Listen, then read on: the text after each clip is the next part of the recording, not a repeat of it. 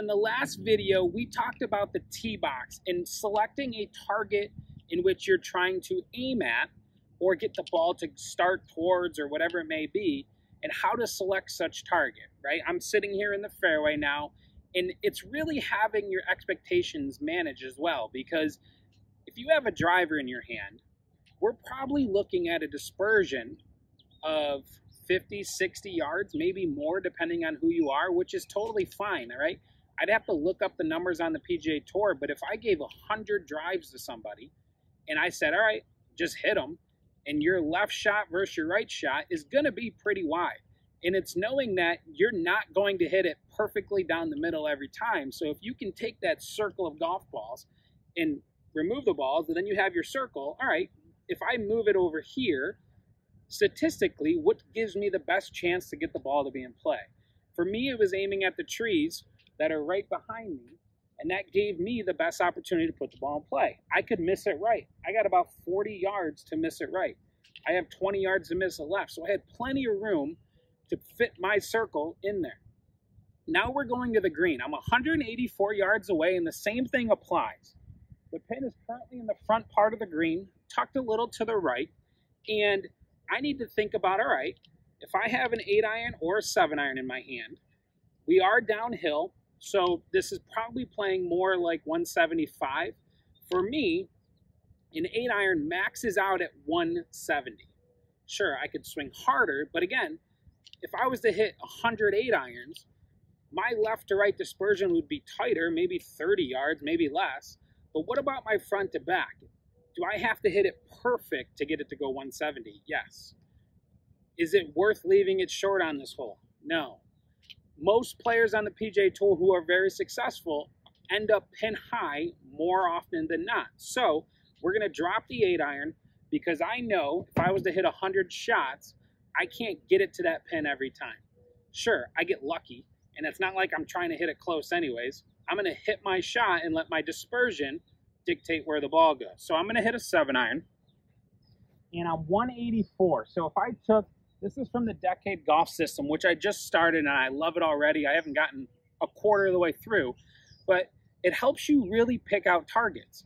And with 184 yards, my number is roughly nine. And when I say that, I mean I have to aim somewhere nine yards from the edge of the green. No matter where that pin is, it has to be nine yards at least. So I'm 184. I got to aim nine yards. That pin looks to be probably six yards from the end of the green or the side of the green. So I'm aiming three yards left of the pin. That gives me a total of nine. So three yards left of the pin is roughly center of the green. There's like these little trees right behind the middle of the green there that you might not be able to see, but we're roughly three yards left. And I'm just gonna pick a point right at that, and I know dispersion-wise, my circle would fit pretty well on that green.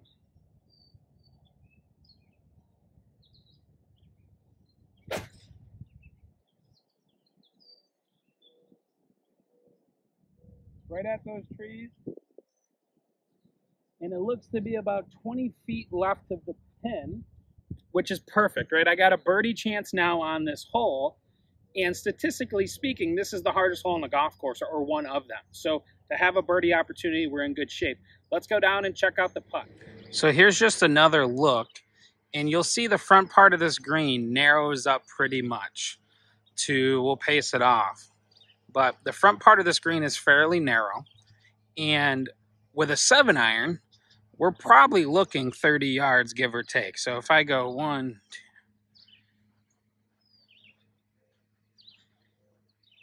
good look at the uh, nature right there. So the front of the screen is roughly 15 yards. The back part of the screen is much wider. So if I took my circle per se and moved it all the way back to here, all right, that's the point in which I want to try to hit this ball. I don't care if I'm 30 feet past the pin because in reality, if I miss hit it, it puts me where this ball is. If I was aiming to go back there because a full seven iron for me goes 180. I hit it perfect, it goes 180. It's playing downhill, 175. So if the center of my circle was kind of a little bit above this hill right here, somewhere in that ballpark, all right, I missed it maybe slightly, but it put me right where I wanted to be. If I hit it well and it went 180, all right, I got 40 feet. My odds of making par are pretty good. Now let's try to make this putt. So through the decade system, we know, set you guys down right here, that managing our expectations are very important. And if I am, we're going to pace this off, but if I am, let's call this 10 feet from the cup. So I'm 10 feet from the cup, and the odds of making this putt on the PGA Tour is under 50%. So if I was to miss this, I'm still in good shape. Most of us would probably be mad that we missed a 10 footer and we get off the green and go, man, I should have made it. Well, unfortunately, the odds are not in your favor, statistically speaking. So we focus on having correct speed, and from there, let's see if the hole gets in the way. So I'm going to play this to be a fairly straight putt down the hill a little bit, and let's see if we can make it.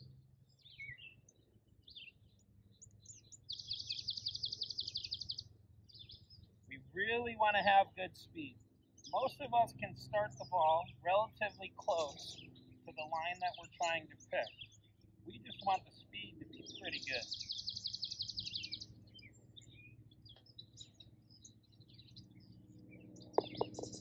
So, good line, good speed. We made a nice birdie here.